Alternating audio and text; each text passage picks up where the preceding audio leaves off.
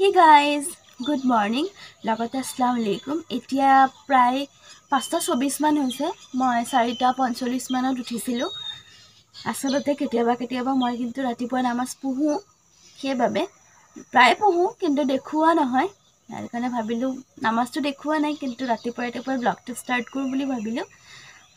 ফুলখিনি ৰোৱা হৈছিলে। সৰু সৰু হৈছে একদম সৰু মানে ৰুইছেহে কালি পৰহি ৰুইছোঁহে। মই ৰুইছোঁ দেই মানে মই আৰু মায়ে মিলি। ৰুইছিলোঁ তাকে বোলো অলপ পানী দিওঁ একদম ৰাতিপুৱা ৰাতিপুৱাই পানী দিব লাগে। কাৰণ গোটেই দিনটো সিহঁতৰ নিজে কাম কৰিব সেইবাবে।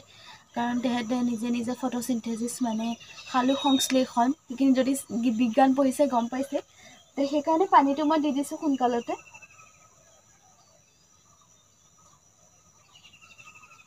হৈ গ'ল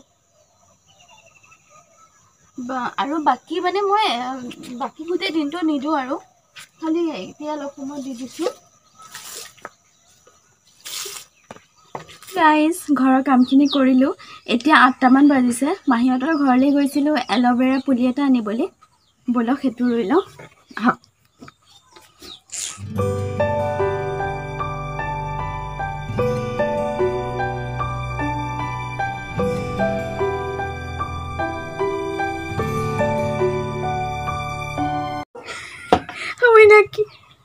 কি বনাইছ? আলু পৰঠা কি কি দিলি? মই কৈ দিছোঁ। তাই দিছে আলু পিটিকি লৈছে তাত জলকীয়া গুড়ি ন তাৰপিছত কেঁচা জলকীয়া পেষ্ট আৰু আদা পেষ্ট পিঁয়াজ পিঁয়াজটো মানে পূৰা কুটি লৈছে একদম সৰু সৰুকৈ। তাৰপিছত? হালধি গুড়ি মেগী মছলা। অঁ হালধি গুড়ি অকণমান মেগী মছলা অকণমান জলকীয়া গুড়ি অকণমান জিৰা গুড়ি তাৰপিছত জিৰা গুড়ি কিয় নিদিলি? ভিডিঅ'টোত দিবলৈ দিছিলে অনলাইন চাই চাই বনাইছে। নিজে একো নাজানে চব অনলাইন চাই চাই বনাইছে। তাই বনাই আছে। আচলতে আজি হ'ব আলুৰ আলুৰ কি অ' মই নামটোৱে পাহৰি গ'লোঁ। কি আছিলে? আলু পৰঠা। আলু পৰঠা বনাব আজি।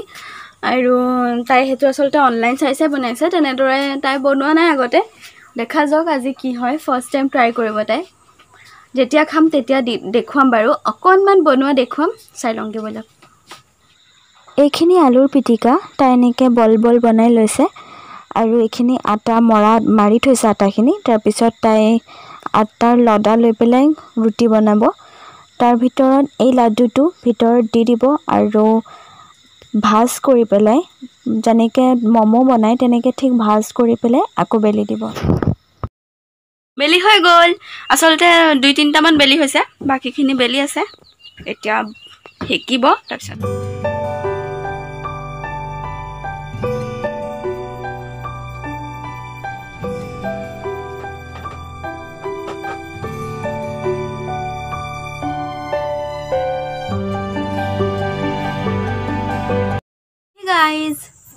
টাইমটো দেখিছেনে বাৰু? ছিক্স ফৰ্টি এইট মানে সাতটালৈ দহ মিনিট আছে। অঁ বাৰ মিনিট আছে। আচলতে আজি গোটেই দিনটোত মই এতিয়াহে আপোনালোকৰ লগত কথা পাতিবলৈ সময় পাইছোঁ। কাৰণটো হ'ল আজি মিস্ত্ৰী আহিছিলে। আজি আমাৰ কলপাৰখন আৰু টেংকি এটা কাট মানে খান্দি আছে। যাৰ বাবে মিস্ত্ৰী আহিছিলে। যদিও গম পাওঁ মিস্ত্ৰী আহিব বুলি কিন্তু আজিয়ে যে আহিব ভবা নাছিলোঁ। আহিলে তাৰপিছত তেওঁলোকৰ লগত থাকিব লগা হ'ল মাটি ইফাল সিফাল কৰা তেওঁলোকক মানে বস্তু যোগাৰ দিয়া বহুতখিনি কৰিব লগা হ'ল। সেইকাৰণে মই গোটেই দিনটোৰ ভিডিঅ' মই দেখুৱাবই নোৱাৰিলোঁ একো। এতিয়া সেইবাবে সময় পালোঁ। চাহ খোৱা নাই মায়ে গা ধুৱাইছে। এতিয়া মা গা ধুবলৈ গৈছে মই গা ধুই আহিছোঁ। এতিয়া চাহ খাম বাৰু তাৰপিছত লগ পাম। এটা কথা কৈ লওঁ দিনৰ আলু পৰঠাখিনি কেনেকুৱা লাগিছিলে? দিনৰ আলু পৰঠাখিনি বহুত ধুনীয়া লাগিছিলে। তাই ভালকৈ বনাইছিলে। ফাৰ্ষ্ট টাইম তাই ট্ৰাই কৰিছিলে কিন্তু খুবেই ধুনীয়া লাগিছিল খাই। ভাল লাগিছিল। চাহ খাই লগ পাই আছোঁ। গাইজ এতিয়া নিউজ চালোঁ চাহ আচলতে খালোঁ। নিউজ চালোঁ এতিয়া নিউজত দিছে কৰোণা ভাইৰাছ পজিটিভ অসমত।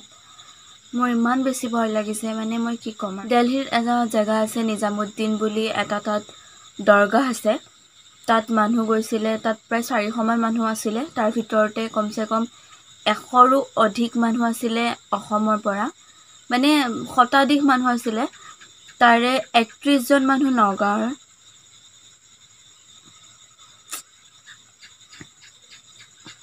যদি এনেকেই হয় তেতিয়াহ'লে ধেমাজিত সাতজন মৰিগাঁৱত বাৰজন কামপুৰত কামৰূপত ঠিক চৌব্বিছজন নে কিমান মই পাহৰি গ'লোঁ।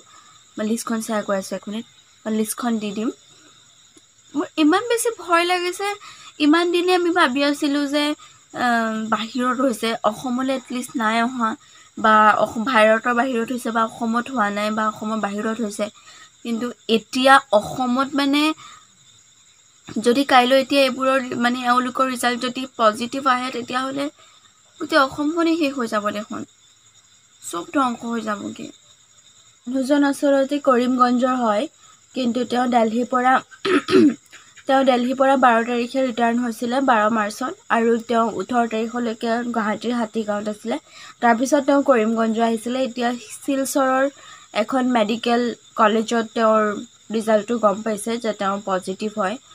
তে মানে মোৰ এইটোৱে বেয়া লাগিছে। তেওঁ তেওঁ আহি পেলাই তেওঁৰ যদি কিবা কাহ বা চৰ্দি হৈ আছিলে তে এটলিষ্ট তেওঁতো চেক আপ কৰাব পাৰিলেহেঁতেন। লুকুৱাই ৰাখি মোৰ যদি এতিয়া হয় যেতিয়া মই লুকুৱাই ৰাখিলে প্ৰথম কথা মোৰ ঘৰৰ মানুহখিনি প্ৰথমতে ইফেক্ট হ'ব। তে মই মোৰ ঘৰৰ মানুহখিনি মৰাটোতো নিবিচাৰোঁ। তে তেওঁলোকে সেইটো তেওঁলোকে নিজে কৰিব লাগিছিলে যে মই চেক আপটো কৰাই লওঁ যে মোৰ যদি জ্বৰ চৰ্দি কাহ হৈ আছে যিহেতু মই বাহিৰৰ পৰা আহিছোঁ। আৰু সেই দৰগাহখনত নিজামুদ্দিন দৰগাহখনত ইটালীৰ পৰা এজন আহিছিলে। তেওঁৰ লগতে সেই বেমাৰটো আহিছিলে আৰু তাৰ পৰাই গোটেই দেলহি বা তাত যিমান মানুহ যায় চবৰে হয় এতিয়া। প্ৰায় নিজামুদ্দিন দৰগাহত পাঁচজনমানৰ ফল পজিটিভ ওলাইছে। দহজনমানটো এতিয়ালৈকে মৃত্যুৱে হৈছে তাত যিমান মানুহ গৈছে।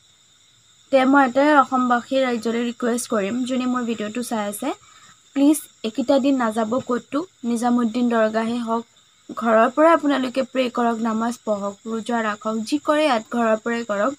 কিন্তু বাহিৰত যোৱাৰ কোনো যাব নালাগে। বাহিৰত নোলাব।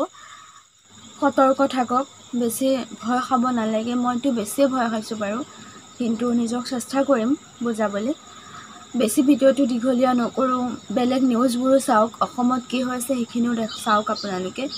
তে ভিডিঅ'টো এইখিনিতে সমাপ্ত কৰিছোঁ। লগ পাই আছোঁ নতুন এটা ভিডিঅ'ৰ সৈতে। Stay safe and stay at home